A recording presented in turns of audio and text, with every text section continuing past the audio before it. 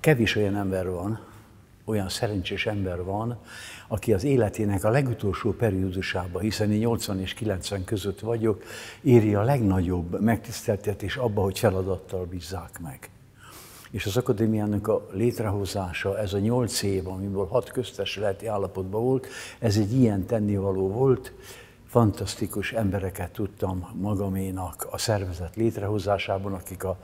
a staféta votot tovább viszik, vagy a lángot tovább őrzik, és nagy megtiszteltetés az is, hogy a tiszteletbeli elnökséggel jelen lehetek. Majdnem azt mondom, hogy mindaddig, ameddig egyáltalán fizikailag bírom ezt a dolgot, mert az akadémiának nem csak a múltja és jelene volt a számomra fontos, mint feladat, hanem a jövője is, amit úgy szemlélhetek, hogy elkezdhet az akadémia szellemi területre áttenni minden olyan energiát, amit eddig építkezéssel, szervezéssel, egy csomó mindennel töltött el. Mint belső építész, tervező, nagyon fiatal koromban lettem érdemes művész, ami akkor nem nagyon volt szokásos, de annak volt köszönhető, hogy több mint 50 olyan magyar pavilont és kiállítást terveztem négy földrészen,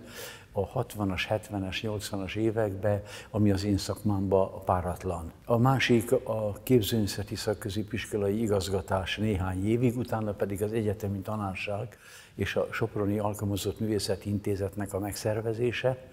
aztán a Magyar Iparművészet folyóiratnak a feltámasztása és továbbfolytatás ugye a mai napig van, sőt éppen most fog megújulni.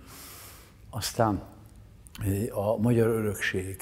díj megnevezés rendszerének a létrehozása két társammal, aztán az a 19 könyv, ami eddig megjelent, ami szokatlan egy tervező művésznél, mert ebben verses kötetek, novellás kötetek és sok más minden van, tehát nagyon-nagyon határozottan beleártottam a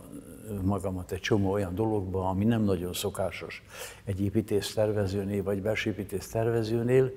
de erre volt egy fantasztikus indítatásom, amit nem tudok elmondani történetében, csak azt, hogy Pilinszki Jánosnak volt köszönhető egy elképesztő beszélgetésem, aki azt mondta, hogy ha valamilyen képességet felismersz magadba, azt ki kell művelni.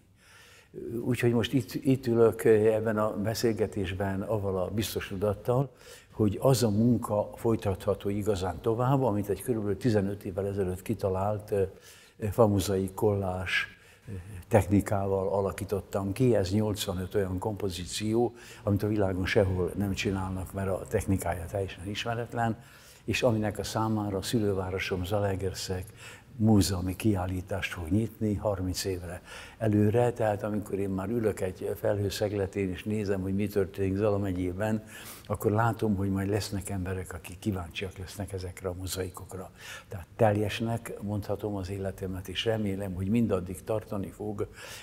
ameddig okosan, értelmesen el tudok beszélgetni és játszani három dédunokámmal.